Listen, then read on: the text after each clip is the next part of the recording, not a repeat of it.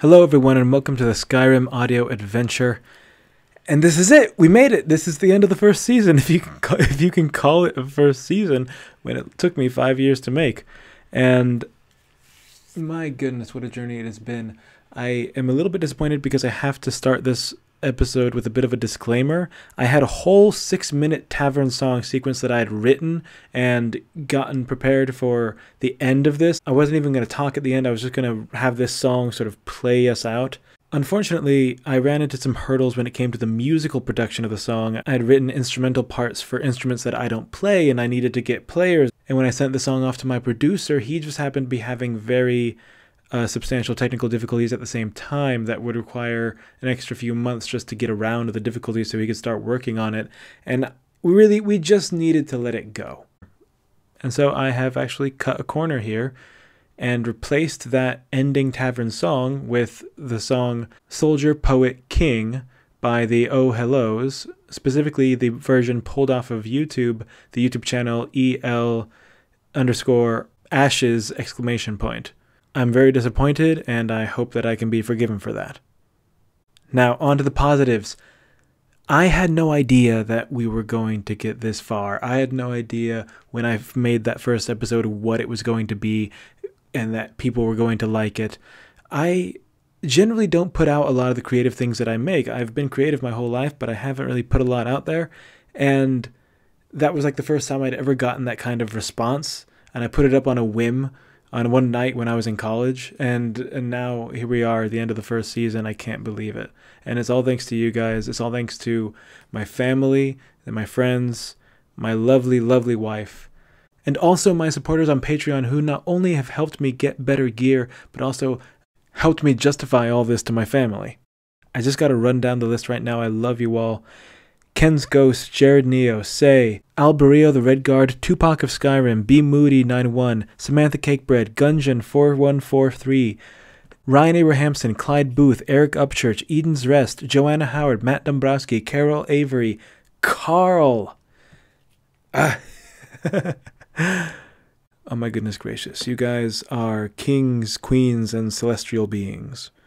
Speaking of kings, shout out to Che Lee, who once again has lent his voice to this episode in the role of the young guardsman. Shout out to Ongoing Still on Discord, who provided an awesome piece of custom artwork that is heavily featured in this episode. You can find more of their work at Codex Verdigris Art and on Instagram at Codex Verdigris. The O in the word Codex is a zero in that particular handle. I'll put all the links in the description. Rest assured. And finally, it seems like a good time for me personally to just acknowledge those who have passed away in my life who supported me through the inception of this project and did not leave to see it through to its uh, to this particular stage. My grandmother Ruthie, my friend Paul, my cat Allie, who was the inspiration for the name of this channel and my whole internet handle. That was all my cat Allie. And most recently, my grandma Paula. I'm no expert on the afterlife or anything like that. I'm not going to expound my philosophy on that, but I hope that I get the chance to see you all again. With that vital stuff said, let's get into part 3 of chapter 15 of the Skyrim audio adventure, The Necromancer.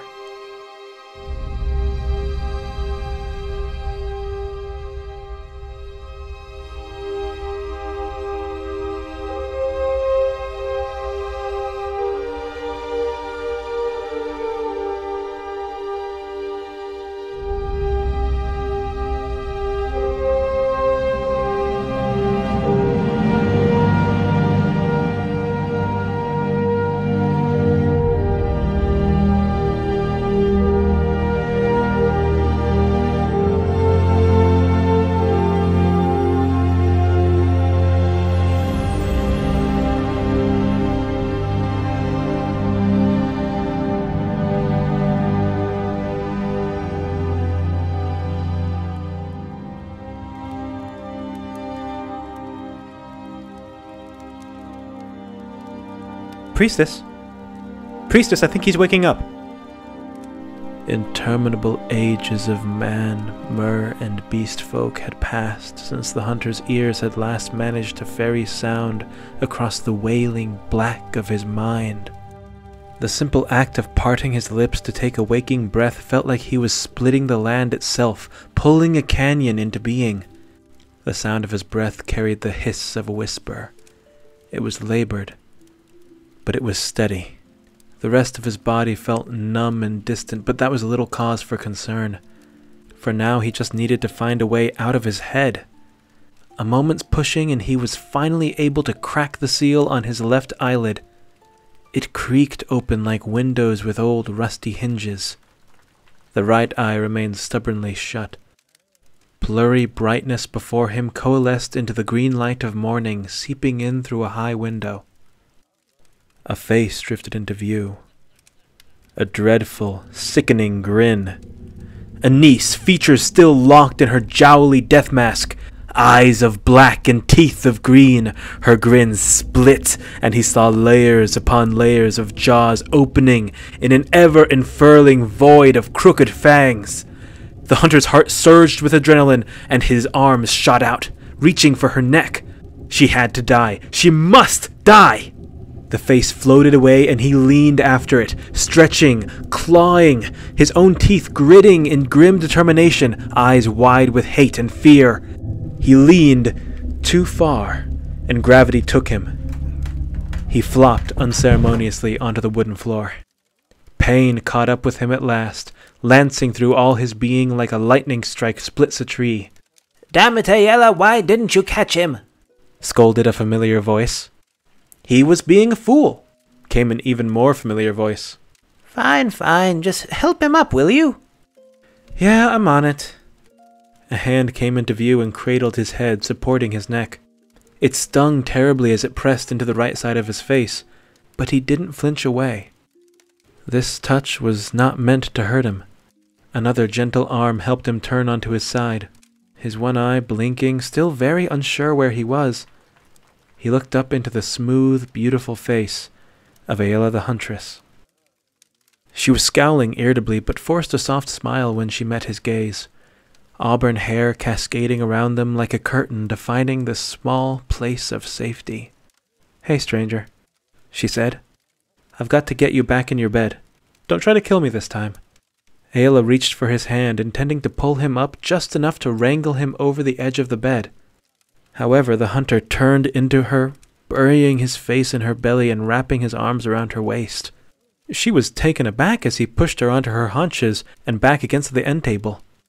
She reached up to stop anything from falling and looked on in awkward amazement as Stranger curled into her and began shaking violently.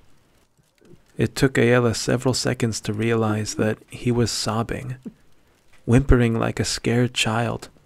She could feel the wet spot on her abdomen oh, growing as his tears and snot flowed unconstrained by shame or pride. Unsure how to feel about it, she averted her eyes, suddenly very interested in the rafters. Her hand came up and began tenderly stroking what hair he had oh. left. The room was silent but for the sound of the man's heaving breaths. Aela met Danica's sympathetic eye.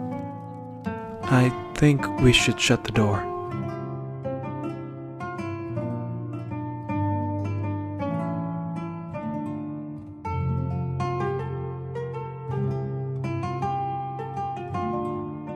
Felt like two hours but could have easily been 30 minutes later, the hunter was alone, sitting in his bed, mind moving like molasses as he took stock of himself. The deep cut on his left thigh had already been healed. A chunk the size of a walnut was missing from his right calf. He wondered what it would be like walking. The lacerations and punctures in his chest and belly had been closed by skillful hands, but they all felt like they might open at the slightest movement. He was like an overstuffed rag doll fit to burst at the seams. Apparently, the spiderweb scar on his back had been joined by a long divot, and red burns crawled root like across his flesh. His broken fingers had been set and bound, but not magically mended. The many smaller cuts and bruises, as well as much of the burns, had been conventionally bandaged and stitched, leaving him with enough wrapping to make his nudity an afterthought. He sat in only a loincloth, unperturbed as Aela walked back in holding several small vials. She was wearing brown riding trousers and a loose green shirt. Gold embroidery danced along the back and around the drawstring collar. And, in typical Aela fashion, it appeared the sleeves had met with a violent end. Danica says the burns are the biggest issue. She gave them once over, but it will take time, and she needs to focus on Bracknell right now. The hunter blinked and looked up at her with big eyes. Yeah, Brack's alive. He's in the other room. He. She cut herself off and swallowed, looking away. He hasn't woken up yet. She placed the vials on the end table and sat in a chair across from him. You, uh, on the other hand, have woken up a couple times. You took water, even a bit of stew. So you're stuck with me. The hunter looked at her quizzically. You don't remember, do you? He shook his head. Figures. Well, I might as well fill you in. She crossed one leg over the other and dove into the facts. You are in the Sleeping Giant. You've been here for two days. It's the 29th of second seed. Two nights ago, I could hardly sleep with all the howls and other sounds coming from the mountains, so I was out and about when a rider arrived shouting for Danica and more soldiers. I guess Brack had sent word about a necromancer and some huge monster about to attack the town. I tagged along with the priestess, and when we got here, Delphine was quite overwhelmed.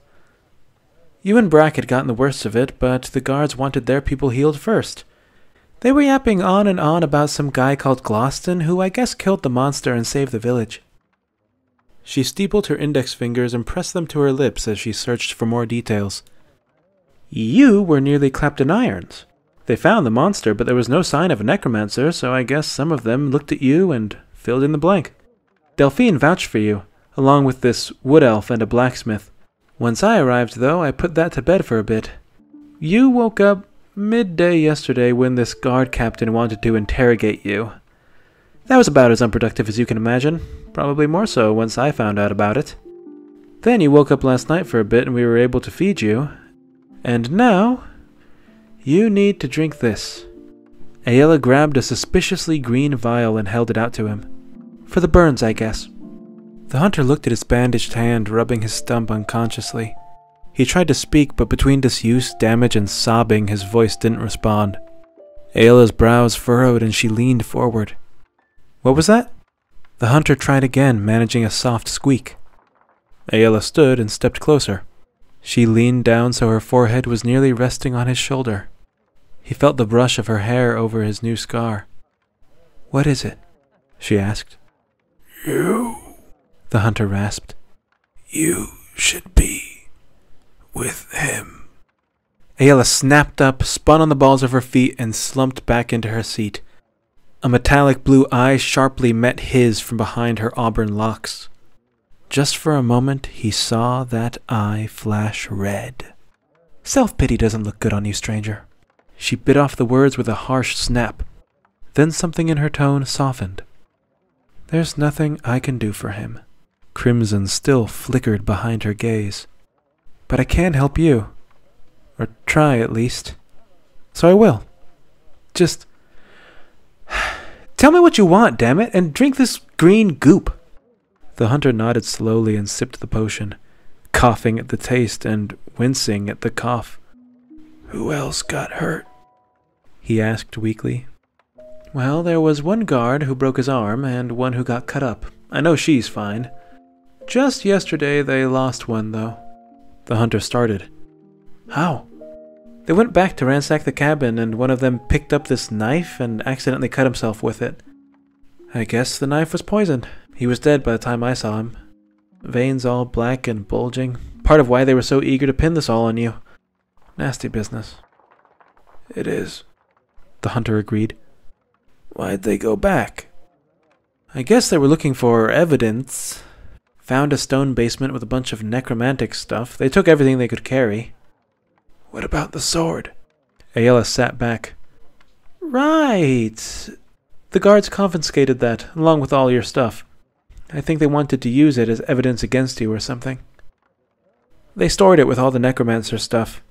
It's Bracknell's, right? I remember him talking about it. Yeah, We should go get it. I found an empty scabbard among his effects. Can you walk? One way to find out. The hunter said, shifting and seizing. Everything stung. Hey, can you get me something? Clothes? No. You know, you're going to have to get used to them eventually. Your furs are scrapped, no repairing those. It'd just be pure twine at that point. The hunter gave a wincing laugh and shook his head. A mirror. Aela froze. I know it feels bad, but I just want to see how bad it looks. Aela measured him for a moment. There was something in those eyes he didn't recognize. I'll be right back, she said, standing and leaving the room in one quick motion. The hunter was a bit taken aback by her abruptness, but wasn't actually surprised until she returned carrying a sloshing bucket of water. I don't need to poop yet, if that's what you're thinking. I didn't eat much while I was out there. Do you think you can come sit in this chair, or do you need help? Um, The hunter began, still confused. I guess I could use a hand getting up. Aela helped him into the chair and placed the bucket next to him. You're probably still sensitive on the side here, but I'm going to touch your head. Is that okay? I, uh, suppose. He flinched when the cool water trickled across his burns, but didn't stop her as she softly kneaded, brushed, and massaged. It was rhythmic and soothing.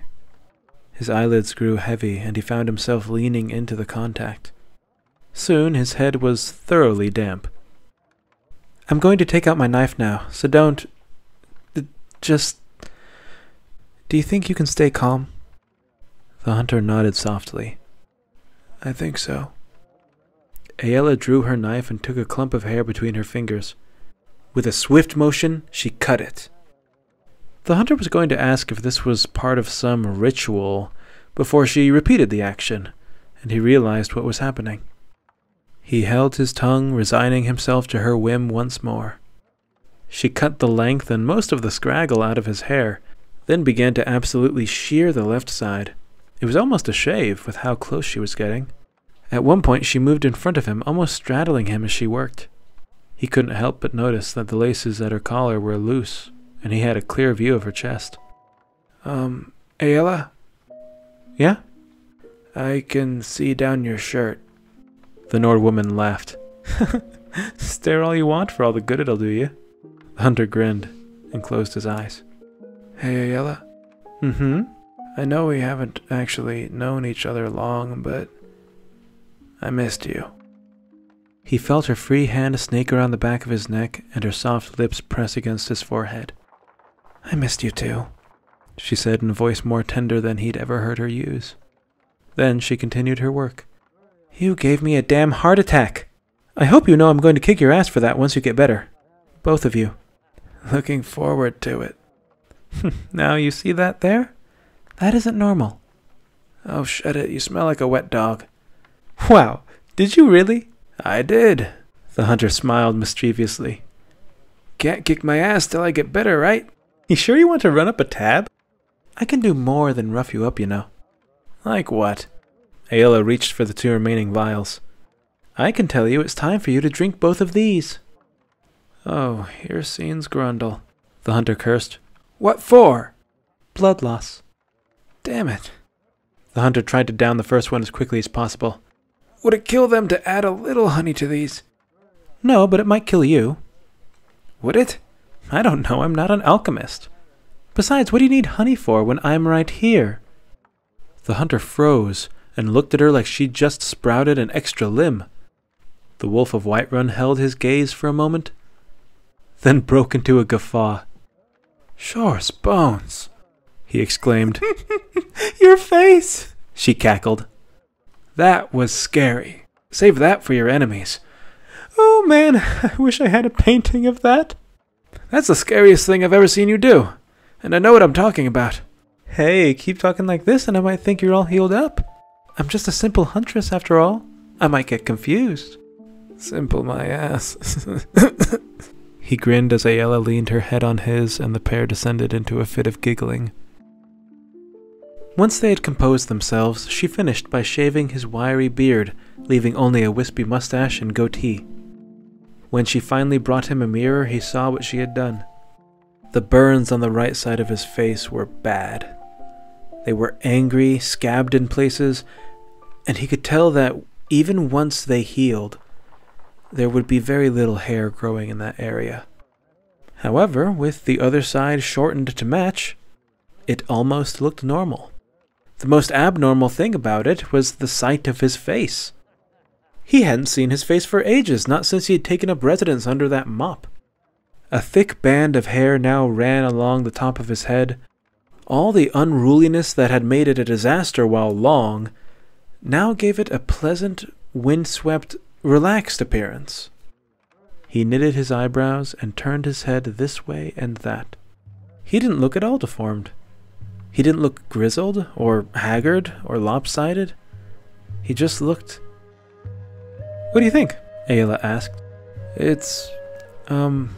The hunter was still stunned from seeing his face. It's. different. He tried to smile, then noticed that the right side of his mouth moved much less than the left. The burns had dulled the nerves and stiffened the skin, giving him a strange, cockeyed grin. It is, Aela said pointedly, turning him to face her. And that's all it is. It's different.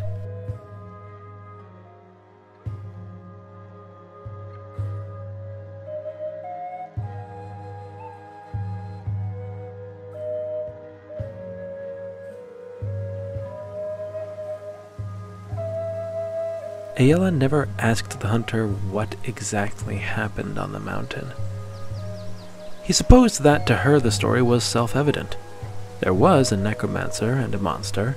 Now there wasn't, and the hunter sat there with enough battle scars to last several lifetimes. Open and shut. He also wondered if, being a warrior herself, she knew that he was having difficulty making sense of events, let alone putting them into words.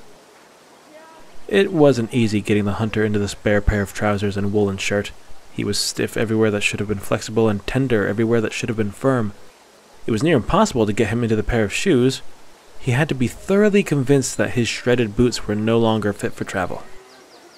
Only once he saw that the right one's toe was being held on by a strip of leather as thin as a bowstring did he relent, and the pair could get moving off towards the guard barracks on the south side of town. Set just inside the cobblestone wall along the town border was a sprawling one story building. It had several ways of ingress that opened onto various paths or up onto the outer wall itself. Only one of the doors had a guard actually stationed at it, but his calm, approachable posture and good vantage point seemed to make it clear that to attempt to enter by any other door would be considered very rude. The light burned more than he felt it should as he staggered out into the day. All the same, his burnt lungs were elated to breathe the crisp, clean air of the afternoon. The breeze cooled his burns, carried fragrant leaves past his nose, and the trees' gentle song past his ear. It caressed his neck and chilled him wonderfully as though he were breaching the water. As they made their way slowly and gingerly through the town, the hunter saw many familiar faces stop and take notice. Alvor looked up from his forge and offered him a bright smile and a wave. Faendal offered a quick smile and a nod from over the top of the high stack of lumber in his arms. Sven scowled at him from a porch where he sat next to an elderly woman whose expression appeared pointedly absent. The hunter also noticed that the guard presence had substantially increased. The town was littered with gold sashes, and many of them seemed to take notice and be drawn into orbit as the odd pair approached the barracks. The guard sitting by the door stood as they approached. A thick, husky Nord man with a set of thin whiskers that betrayed his youth. Well met, citizen. He greeted. We beg your pardon, but the barracks are off limits while the investigation is ongoing. I do not come to hinder your investigation, Aela said, but to aid it. We have everything we need to do our jobs. You have much more than what you need from what I hear. We are here to clarify. And to reclaim. I'm sorry, ma'am, but I have my orders. This is the business of the Whiterun Guard, not of you. Aela clicked her tongue. It's good to know that the guard is taking its duties seriously, but I was not aware that those duties included stealing from the fabled Hall of the Companions. The young guardsman blanched and started as if seeing her for the first time. I I apologize, Madam Huntress. I didn't recognize you with um Without the face paint, the armor, and the blood, she finished. Don't worry about it. Just let us in and all will be forgotten. To the kid's immense credit, he didn't cave immediately. However, his eyes were darting furtively all around, clearly uncomfortable being caught between his orders and one of the most respected figures in the hold. Why don't you take it up with the captain and get his thoughts on the matter? I will. The guard nodded. Thank you, ma'am. He disappeared inside. Aela turned back to the hunter and whispered, No one can make you say anything. Just leave this to me. The hunter nodded, and a few moments later the kid reappeared, followed by an older man with thick arms, a captain's insignia on his sash, and a wide belly that was just noticeable under his uniform. Hail, companion, he said with a smile. It slid once he recognized the hunter. I hope this isn't going to be a continuation of our last meeting. Not unless you make it so. We are here to collect that which was wrongfully taken. My cohort's effects, along with an enchanted blade of ice and blizzards. Those items are currently part of an investigation. They are not yours to take. They belong to the companions. They are not yours to keep. I could say the same about your friend here. And here we go again. After hearing testimony from some of the townspeople and the priestess of Kynareth, we've just about ruled your associate out as a suspect. Well, it's good to know that you're making some use of those empty buckets on your shoulders. The captain wore the smile of a man exercising patience. However, unlike yesterday, he seems to have his wits about him. Why shouldn't he help us fill in the gaps? He defeated the necromancer, the same one who summoned that monster and would have razed this village to the ground. He deserves your respect, not your suspicion. We understand that the shack belonged to a frail old woman. We did find evidence that this necromancer harbored dreadful ambitions as you describe, yet we have not found her nor her body. Can your friend perhaps point us in the right direction? Provide some basis for his heroics other than his wounds.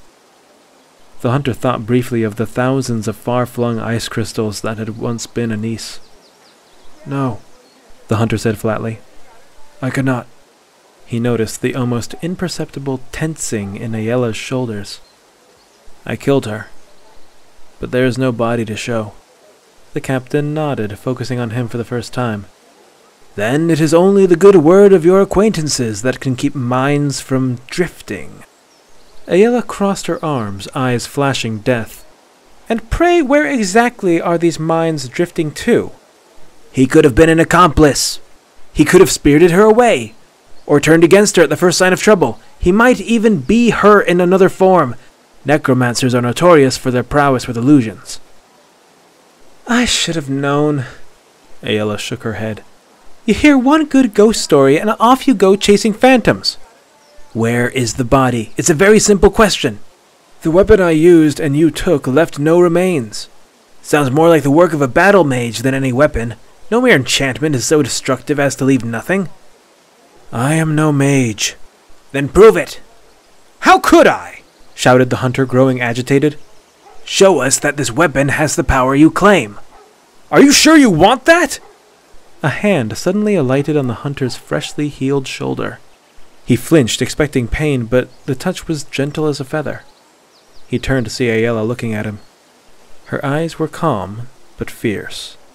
He could see the wolf in her baring its teeth. In an instant the look was gone, and she smiled at the captain confidently.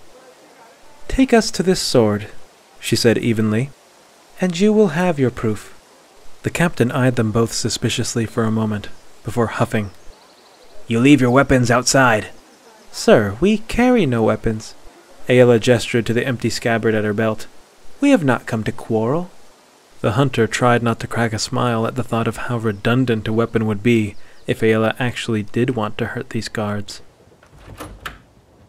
The building's dim interior was defined by a long central hallway that opened to several side rooms with a larger room at the back. The captain led them down to where two guards were chatting it up outside a closed door. As they approached, one was sitting and one was leaning against the wall, but both stood when they saw the captain. What's going on, sir? One said, an imperial woman with hair tied into a light brown bun. Open the storage room. We're trying to settle something. The other was squinting at the hunter and Aela. Say, isn't that open? The door.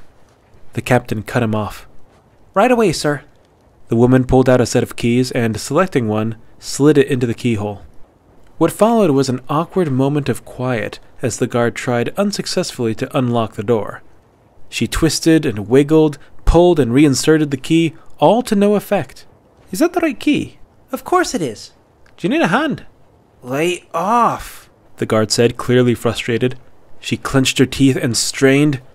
I can do this myself. On that last word, there was an audible pop, and the key turned.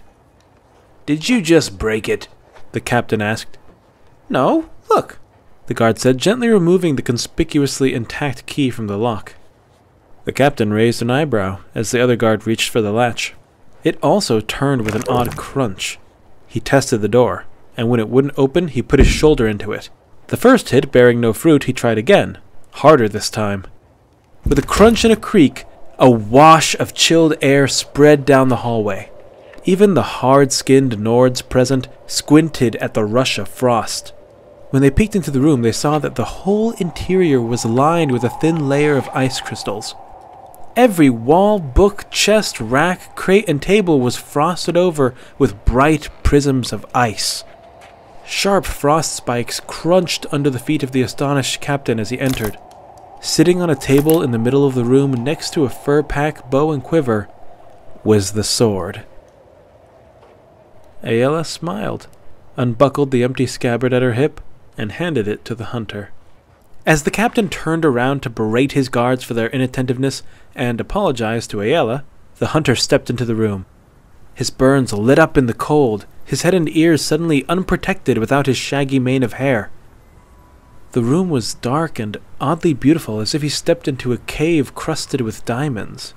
Though the voices outside still chattered away, the world in here seemed to slow down as he approached the sword. It was such an alien thing. The hilt seemed Nibenese, not unlike the blades of the legionnaires, yet this was intricate. Its idiosyncrasies had been built into its making ages ago, not added after the fact to a mass produced hunk of military steel. The material looked like gold, but couldn't have been. It had been too light and maneuverable in his grip. And the blade. It was ice. He couldn't think of any other way to describe it. It was ice stolen from the black heart of a glacier. Now finally exposed to the world, it seemed determined to shine like a star. The sound of rushing wind grew louder as he moved closer, and for a moment he feared that he was slipping into a dream.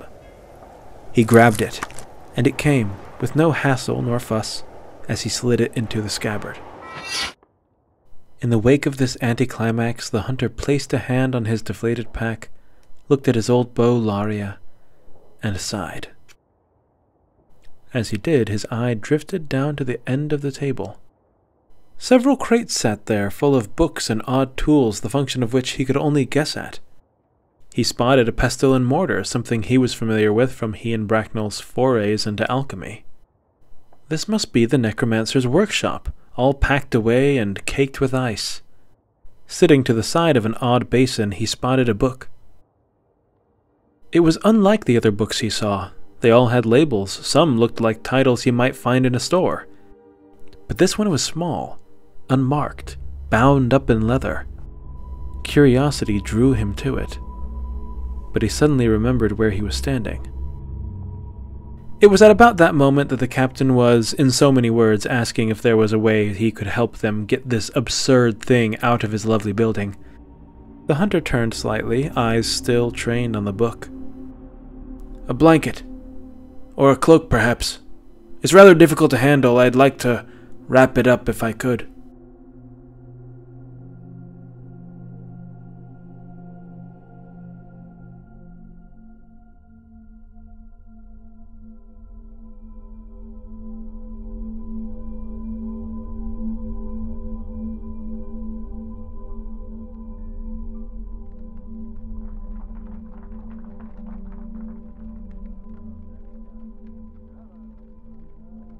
It took Danica Pure-Spring several moments to recognize the odd shaved headed man in ill fitting clothes shambling along, leaning on Aela.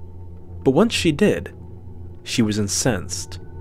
The hunter learned on that day beyond any doubt that the fiery temper and supernatural strength of the Wolf of Whiterun was nothing compared to a pissed off priestess of Kynareth. He found himself being almost thrown into his bed, a fresh wave of salves and potions being thrust into his arms with enough force to send him through the wall. Bracknell still hadn't woken up. He knew this, for as he was being herded to his bed, he steered himself away just enough to poke his head into the room next to his. His friend lay back, bound up in sheets and furs. His head was bandaged, and his mouth was agape, frozen somewhere between a cry and a moan. He was old. The hunter had always known it, but never seen it under the man's lively spirit. Now his features all sunk back into the valleys of his bones. A single rattling breath was all he heard before being wrenched away. What's wrong with him? he asked the priestess. His body has been broken, yet the spirit lingers. What can we do? The best thing you can do for him is to be no concern of mine. Now get in there and rest, confounded fool thinking he's fit to wander on one leg. I ought to hang you up by your toenails. Even if the hunter had the time to respond, he doubted he could have thought of anything to answer that. Aela was reluctant to leave the hunter's side, but the albeit successful confrontation with the guards and subsequent rimming from Danica had left her with an ache in her bones for violent activity and explosive movement. After multiple assurances that he would take his medicines, the hunter talked her into going out for a run around the forest, and perhaps practicing her archery out where the wolves watched and laughed. So it was. As the light outside grew to a warm amber and dimmed to violet, he found himself alone. Patrons had begun to trickle into the tavern. A group of traveling musicians stopped in asking if they could play for meals and beds. The burns on the side of his head were starting to feel much better under Danica's salve. He walked to the wall that separated he and Bracknell's rooms and leaned his forehead against it. He missed the woods. It had taken so little time for it to happen, but he was already so tired of civilization. He missed his isolated little camp outside Helgen. Out there, concerned only with the coming and going of seasons, of game, of rain and snow. Out there, he could be alone without being lonely. But in here, he felt profoundly how separated he was from the smiling faces and chatting voices just through these wooden barriers. How could he ever explain to any of them what had happened on that mountain? Some of them had caught the ending, the dregs, the ashes of the last few days. The only person who had some inkling was unconscious in the next room, likely taking his last breaths. While the mission was there, while the threat was present, every action followed the next, all necessary, all aiming towards some goal. And now, as he sat, left alone to count the cost of it all, he felt the void left by the necromancer as an open wound. He felt it in his injured friend, in the promise he failed to keep, Promise you'll look after Bracknell, Delphine had said. How he ever did try. He felt it in the mountain, the hundreds of hermits and hunters, the bandits and travelers, the city of people he'd seen reflected in that dead army. No one would know them, or how they were lost. No one would know the sight they were spared, the fate. The long road stretched from Falkreath in the south Markarth to the east, and Whiterun, the middlemost hold of Skyrim. The roads formed a triangle, the Bleak Falls Mountains lost in the middle, jumbled in with a maze of seldom walked paths and seldom seen vistas. Finally, he felt that void in the fleeting but concrete purpose the necromancer had given him. What would he do now? Bracknell had a footlocker he needed to pick up. He himself had an order for a sword with Eorlund Greymane, and now he would need a new finger. Yet another thing he owed Aela for. Why had he come by this road? Circumstance at first, then the search for power? The power to be free from the whims of fate, to be at peace, and it only brought him more conflict. With the strength came that question what would he do? What a mercy to be anonymous. Perhaps if his paltry strength were known, the world would only reach out to challenge it. The troubles of others would continue to become his own. The boulder he dropped on the head of the beast was evidence enough that even the mountains themselves could not sleep undisturbed. Was it foolish then? Power for peace? Perhaps the best he could do was hope to be ignored. Perhaps there was nothing to do. The power he held was so small. He saw that in so many ways, but even in that modesty, he understood that power needed some direction, some purpose. He'd seen power for its own sake. He'd seen her face. He looked to the cupboard where he'd stored the bundled sword. He stepped over and, hands flinching at the cold, extracted the book from the mess of cloth. He lit a candle not to read the book, but to thaw it. It was a slow process, and he was glad that no one walked in while he was doing it. Once he was pretty sure the pages wouldn't shatter like glass, he cautiously untied the leather bands and opened it. He did not open to the first page, rather, he deftly thumbed the pages, letting them flutter, stiffly at first, then fluidly. He let the book flop from back to front for a moment before suddenly a page came loose at the back. The book wasn't right next to the candle, but he reflexively snatched it away all the same. Slowly opening to the back cover, he found a folded slip of parchment tucked in between the paper and leather. It had been hidden there. It felt like he'd just uncovered a startled mole while digging a latrine. He took the paper, unfolding it, and in that mixed light beheld a letter. The hand was slanted and ornate, a bit gaudy, really. It read Helgi, dear, why do you hesitate? You can feel the power coursing in your blood. Renounce that boy of yours and come, come live with me in the forest. My sisters will be here soon. Together we can form a proper coven, and your training will truly begin. Helgi. The hunter mulled the name over in his head. It didn't find a match. Could she be another necromancer? The thought turned his stomach and fluttered his heart. Were there more? Was there more carnage waiting in the woods? Was something stirring? Was Helgen safe? What about Falkreath? He hadn't heard news from them in ages. A thought tickled the back of his mind, and he read the letter again. Why do you hesitate? It read. This person, Helgi, may have the gift, as Anise said, but had not sought to use it. What should he be then? A preemptive executioner for the magically sensitive? Nonsense. That would be asinine. The mention of the sisters, however, was troubling. Very troubling, actually, yet, as could be expected, maddeningly unhelpful. He sighed and lifted the letter to the candle flame. No one else needed to die. The thought was as much a wish as it was an assessment. The parchment sparked, smoked, and smoldered. He held on for as long as he could, letting the fire eat all the way to the corner. In those dancing flames, he swore he saw her standing before her burning home. Returning his attention to the book, he began flitting through the pages, skimming the words and drawings he found there. The writing was hasty and careless, highlighting how the elegant scrawl of the letter had been for show. There were names he didn't recognize. Some pages were dated, some weren't. Much of it was text, detailing minor victories and setbacks. Knowing what victory had looked like to Anise, he was tempted not to read further. But in some places the text fell away, replaced by diagrams and lists. There were drawings and instructions.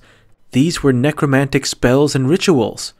There were recipes for potions and experimental accounts of the effects certain concoctions had on the body. There was real alchemical knowledge here.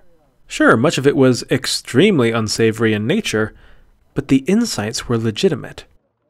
He went very quickly from holding the journal at arm's length to poring over it, wishing he had a journal of his own to jot down the relevant details.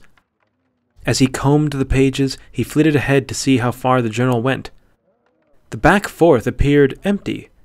Then, at the very back, he found the writing started again, only flipped upside down. He turned the book and realized that the hand had changed.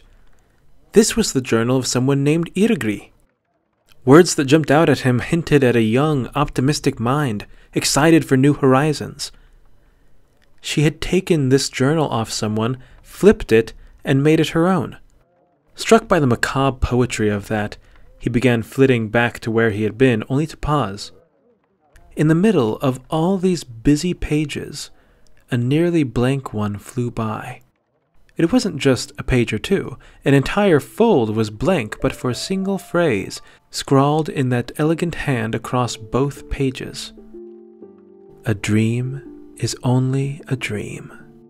The hunter said the words aloud, hearing them echo back off the walls. Was that melancholy? Had she just lost hope?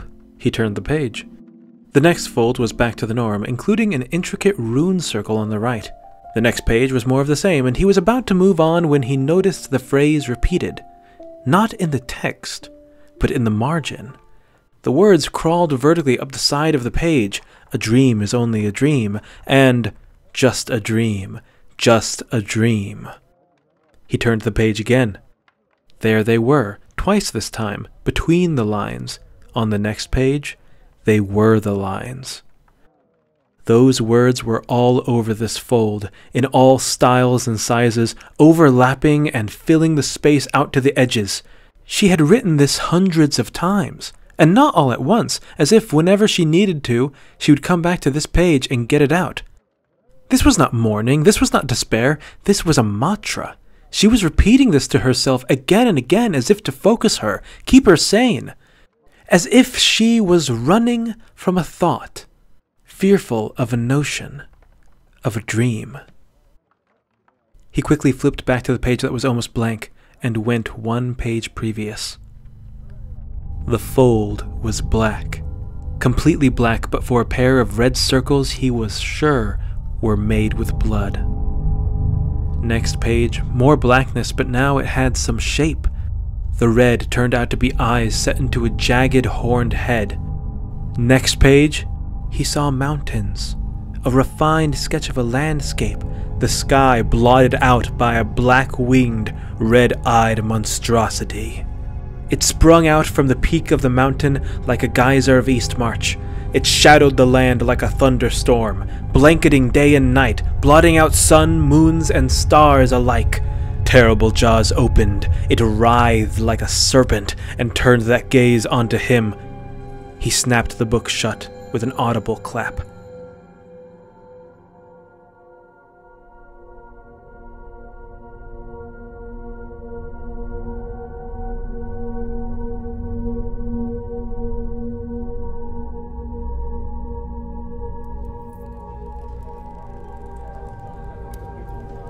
Twilight came and went.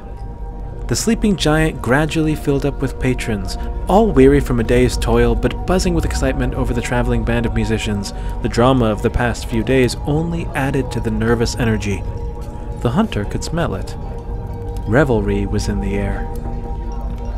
Aela returned from blowing off steam and issued the hunter a glare capable of cutting glass when she saw that one of his potions hadn't been drunk. He promptly downed it with a well practiced gulp. Danica, it seemed, was still in Bracknell's room, so the pair snuck out like children to sit by the bar and watch the tavern fill up. The hunter tore through a chicken breast and some egg and butter fried bread. The food soothed both that deep hunger of the ordeal and the queasiness from the medicine cocktail. He was eating so fast that Aela had to pull the food out of his reach, only giving it back to him once he promised to chew. He washed down his meal with a mug of water, while Aela was quick to order a stein of mead. I swear, keeping you out of trouble is going to kill me one day. Who says you have to? Shut up and eat. How's life in Whiterun? The hunter asked. It's busy as always. Aela carefully sipped off the top of her frothing drink. the Empire sent an emissary to the Jarl, offering aid and protection against the Stormcloaks to the east. He didn't look happy when he left, so I think we're still neutral. Uh, Vilkas, Galdus, and Dramasha went out to scout the Valtheim Towers. they got ambushed, and we lost Ramasha. The hunter looked at her, concern evident. I'm sorry to hear that. Aela nodded, taking a drink. Comes with the territory.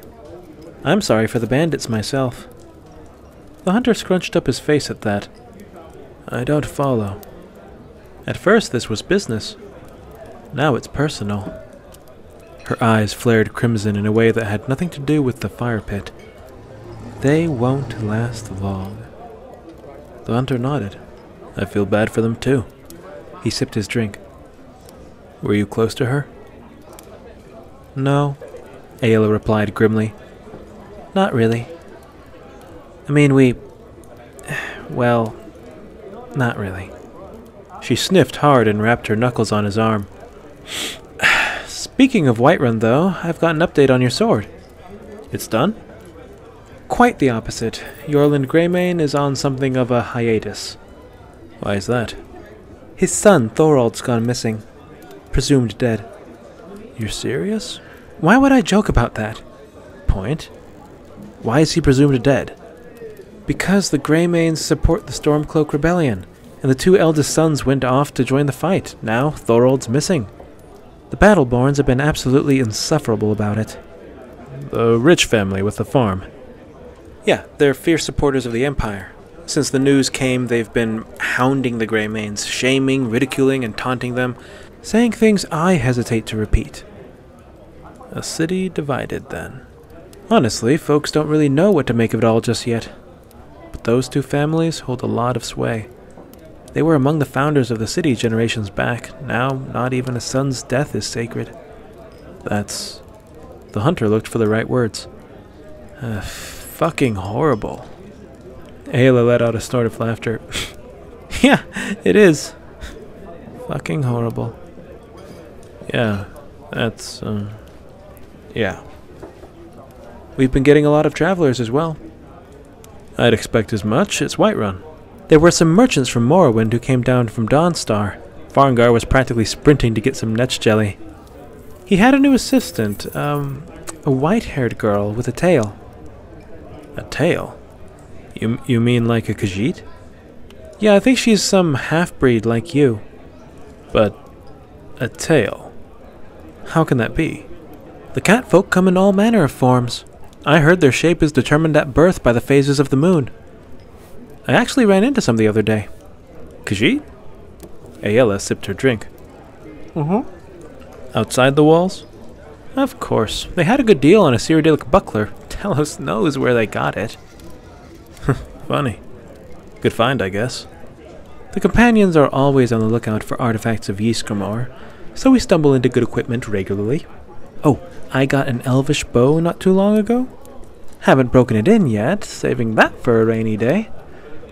Speaking of which, you ever stumble into those giants of yours? Hmm. No, actually. They've been avoiding the farms. You mean they've been avoiding you? He offered her a lopsided grin. Aela raised an eyebrow from behind her stein. Hmm. Flattery, the bane of the stoic and honorable. Shall I stop? I never said that. It was about that time that Orgnar drifted over to them. Sure you won't have an ale? He asked the hunter flatly. No thanks, he said, tapping his mug with his finger. He won't be drinking at all tonight, Aela said, leaning in. He's still recovering from saving the entire hold. Hmm, grunted Orgnar, barely listening as he moved off down the bar. Aela scowled after him, but the hunter placed a hand on her shoulder and shook his head. Heroes can afford clothes that fit. Heroes deserve a stiff drink, she answered, clinking her cup to his. I pity you. Probably for the best. I seem to make a lot of mistakes when I drink. Hmm, mistakes, huh? Aela took a swig. The fun kind? The fun kind? The hunter echoed, unsure what she was getting at. Then it clicked. Oh. Oh. Oh. no. No. no, not me. Not lately. He took a sip. I make the kind of mistakes that get me kicked out of places like this. Right. Aela nodded. I think I heard about that. From who? From Brack. Oh, the hunter said. feeling the air around them go cold. That makes sense. Aela looked away and took a very long draught. He swirled his water awkwardly and cleared his throat. I don't think tonight's a good night for mistakes, anyway. He lifted up his shirt, showing off his extensive bandaging. I fear I'll spring a hundred leaks. Aela's eyes darkened at the sight, and the humor in the hunter's voice seemed to slide off her. Are you okay? The hunter almost laughed. I mean. No. He gestured to himself and then back to the room where Bracknell lay. Between this and that, I'm not okay at all. That's fine. That that's just that's what it is. How about you? What? Are you okay? Of course I'm okay. Why the fuck wouldn't I be okay? I was just thinking. Well, don't. Hmm? You'll just get hurt again. Fine, you're okay. Better than okay, even. That's right. Aela nodded. I'm the god's damned wolf of Whiterun. The hunter sipped his water pensively. Is that all you are, then? Aela went very still. After a moment, the hunter felt a growl rumbling through the bar. He was sure he'd just signed his own death warrant until the rattle died and Aela took another swig. I thought you said you weren't in a state to make mistakes. Well, he sighed. Not the fun kind. Suddenly, Aela grinned a dangerous grin. So then we do the next best thing. That being? Here. Turning and leaning back, elbows on the bar, Aela crossed her legs and stared easily out at the growing crowd. The hunter turned with her and looked out. What? Now tell me, who in this tavern would you want to make a mistake with? The hunter was taken aback. He felt his exposed face flush with reserves of blood he didn't know he had. Really? Yeah, come on, it's fun. No. I'll do it too. I'm not playing this game. Why not? Aela asked. Like you said, it's a game. The hunter drank the water as if it would give him courage. Okay, fine. He scanned around the room. Delphine was getting the fire going. If Bracknell didn't pull through, he didn't suspect he'd ever be able to look her in the face. The sleeping giant would likely be lost to him as well. Shaking the thought from his head, he continued searching. Camilla's raven hair was tied up in loops. She was sitting to the right with Faendal, who was miming the drawing of a bow, no doubt in the middle of an animated recounting of the battle. Over to the far end of the room, Sven was helping the band set up, all the while seeming decidedly morose and shooting glances over at the pair. Finally, he settled on someone a little less complicated. Ginger hair, elegant but strong features. Sigrid, he said. I don't really know these people. Who's Sigrid? Over there with the reddish hair. Oh, next to the blacksmith. That's Alvor. She's his wife, actually. Eh, Aela turned back to him in mock astonishment. You have a thing for the blacksmith's wife? Oh, shut up. You asked. Stranger, I am shocked and appalled.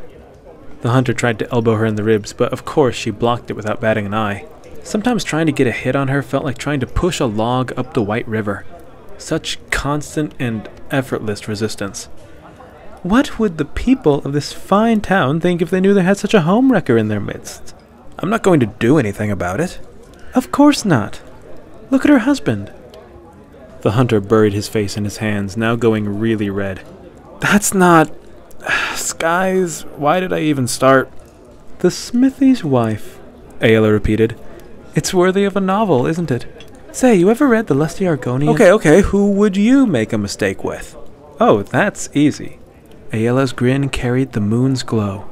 The smithy's wife.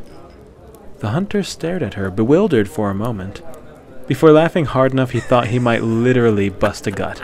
Aela leaned against him, cackling so violently her stein would have been sloshing all over the floor if it wasn't already half empty. Listen, the hunter wheezed. I might be a vagrant, a vagabond, a wastrel, a wanderer, a hooligan, a scoundrel. Okay, watch it, the hunter said, waving his hand as if to sweep the rapid exchange into the past. The point is, I can be a homewrecker. But you? A noble warrior of Ysgramor's companions? Aela took a drink, reducing the cackles to giggles. Hmm. What can I say? You have good taste. She's so pretty, isn't she? She's gorgeous.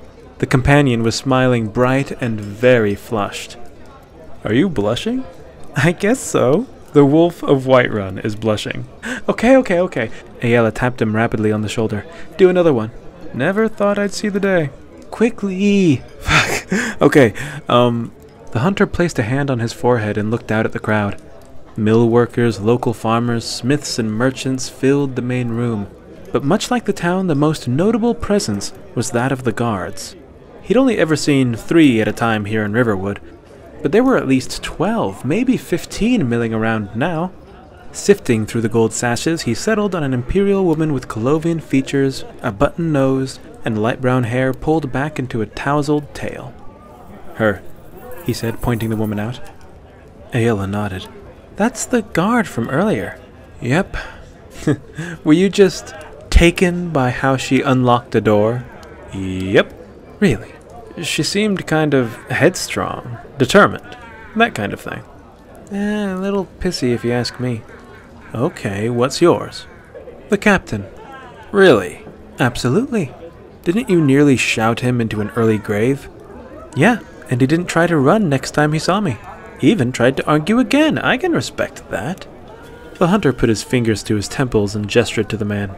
You'd really want to make a mistake with that? She bent her neck to the side, popping it. I'd live. Yeah, you'd live, of course. How about one more? I knew you'd like this game. It's certainly diverting, he said, scanning the room for a pretty face. Barman, another mead, Aela called, lifting an empty stein. The hunter mimicked her. And I'll have another. fucking. water.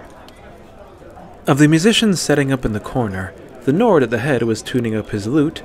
Oddly enough, a large, Orsimer woman, an orc, was laying out a series of drums. A wiry Breton was cleaning his flute, and next to him, rosining the bow of her fiddle, was a diminutive Bosmer. There, the Bosmer in the band, he said. A wood elf. Hmm. Aela huffed, scratching her chin. What was that sound? She's just kind of small. So? I always thought you liked women who can kick your ass. In my stay, a stiff breeze could kick my ass. Who's to say she couldn't? Aela jabbed a finger at him. See, I knew it! You admit it! He jabbed a finger back at her as if they were fencing.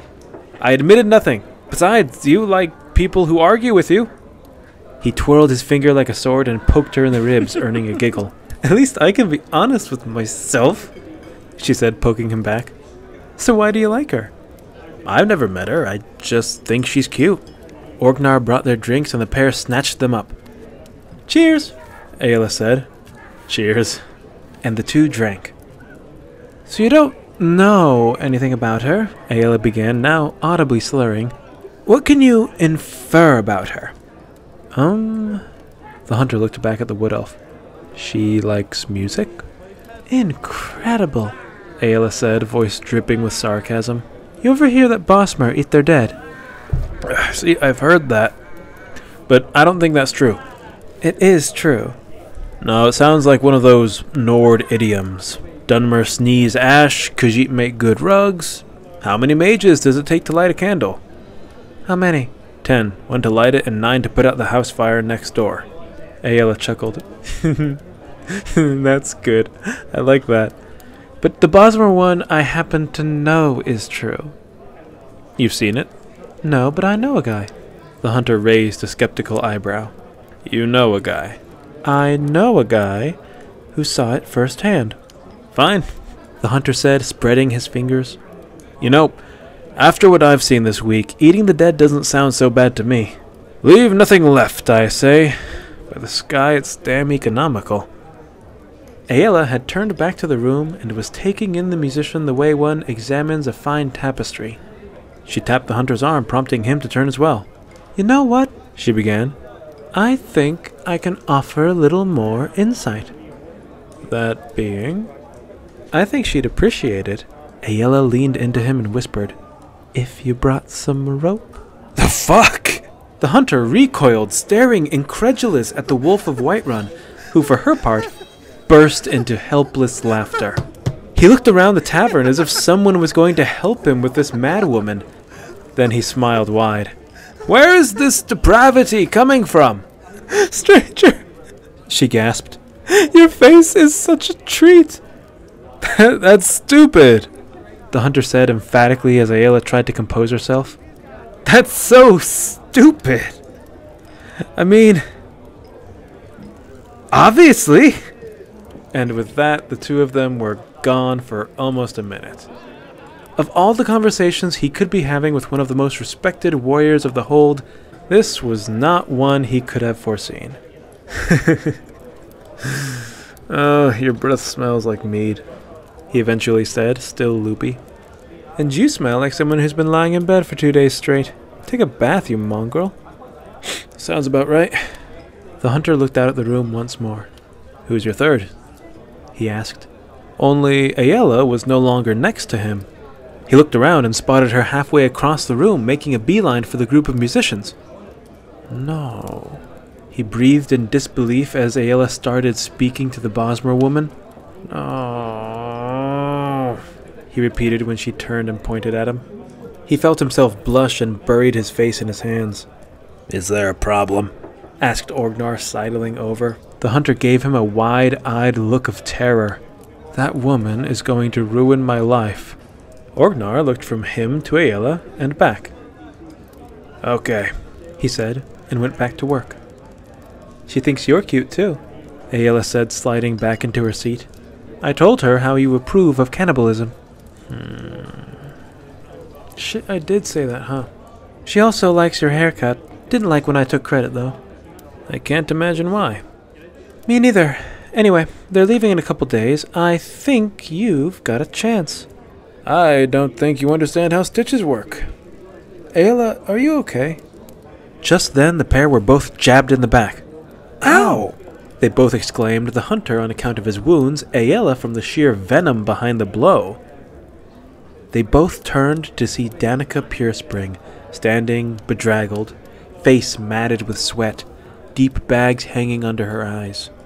She looked for all the world like one of Anise's husks. She'd just about been worked half to death. Her blue eyes glared at each of them in turn, a whole lecture being conveyed in a couple seconds. Finally, she opened her mouth. He's awake. Aela and the hunter were frozen to the spot as she moved off to Delphine. Delphine, which room is mine? I can't even remember. The pair sat still for a long time. Aela gripped her stein in both hands, and the hunter leaned an elbow on the bar and covered his mouth. She bent down and rested her forehead on the rim of her drink. He moved his hands up to cover his eyes. The silence between them stretched and stretched as the energy of the room ramped up all around them. Ladies and gentlemen of Riverwood, called the head musician, it is great to be here. We are the Dancing Horkers. The hunter wiped his face and looked to Aela, whose eyes were glassy as she stared at the countertop. The music will begin in a moment, but first I understand that there is some honor to be noted. He threw his arms out to the side where a cluster of yellow sashes had pushed one of theirs into clear view. To Gloston, pikeman of the Whiterun Guard, who two days ago slew the terrible beast of Bleak Falls Barrow, saving not only Riverwood, but possibly the entire hold from its grisly claws. A toast to Gloston! To Gloston! The tavern called back, raising their cups in unison and cheering. In the din that followed, the hunter placed his hand on Aela's arm. Aela. The huntress nodded her recognition, but he saw the raw emotion in her eyes. The manic humor of the evening instantly stripped away by clear, crushing relief. He knew how she felt. He too was almost delirious with it. The escalating madness revealed for what it was armor. Woefully insufficient, unworthy of either outcome, and now sundered. She took his hand in hers and squeezed enough to rotate the knuckles. He didn't pull away. They sat in that quiet release as the soldier's glory crescendoed and subsided. Many thoughts flitted around his mind, but they all flew in orbit of the woman next to him. Are you going to go see him? You go first. Her voice was thick. No, he said. You should go see him. It wasn't a suggestion, but a statement of fact. Why not you? The hunter smiled softly. I've nothing left to say to him. Not really. His voice was creaking like an old wooden floor. And you think I do? Yeah, I do. Well, Aela met his eyes and she was open. As if split by a blade, she was totally open. Fuck, I'm drunk, she cursed, wiping her face. Here. He slid his water over to her. She took it and greedily drank, slamming the empty mug and wobbling to her feet.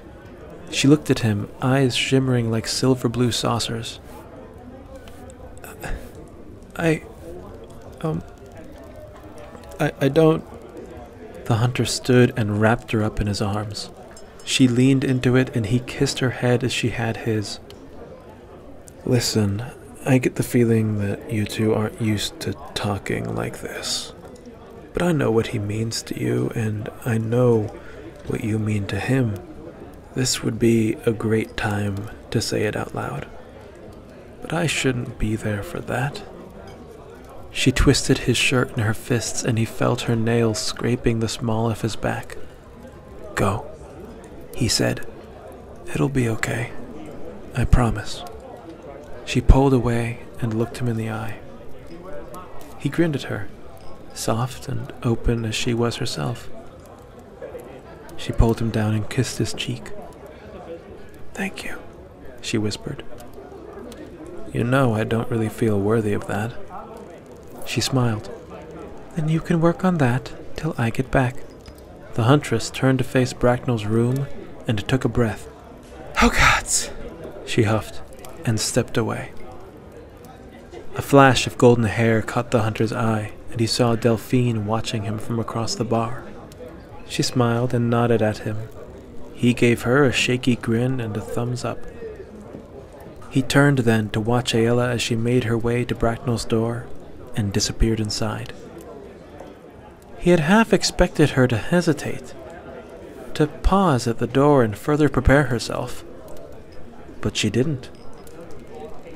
She was the wolf of Whiterun after all, and once she decided to do something, she did it. He smiled to himself, resolving to follow in her footsteps. He turned back to the bar and stole what was left of her drink. There will come a soldier who carries a mighty sword. He will tear your city down. Olay, olay, O Lord. Olay, olay, olay, O Lord. He will tear your city down. Olay, olay, O Lord.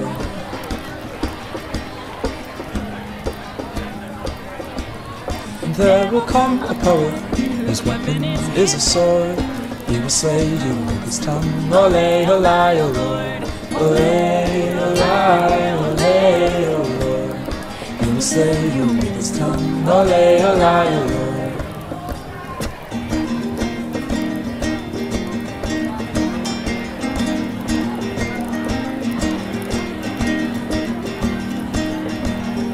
There will come a ruler whose path is laden thorn, smeared with oil like David's boy. Olay, olay, O Lord. Olay, olay, olay, O David's boy. Olay, olay, O Lord. Olay, olay, olay, O Lord. He will tear your city down. Olay, olay.